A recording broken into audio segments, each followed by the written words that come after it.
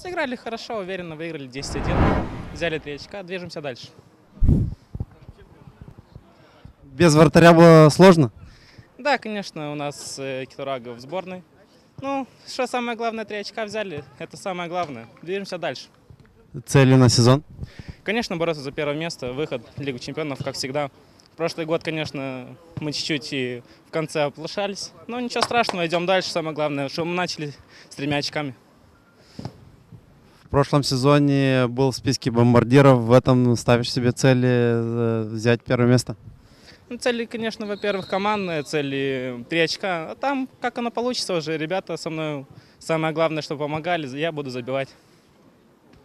В этом, если вернуться к этому матчу, были какие-то сложности у вашей команды? Ну, как бы, хорошая команда была, как бы, ну, забили быстрые голы, самое главное. Поэтому отсюда и результат такой.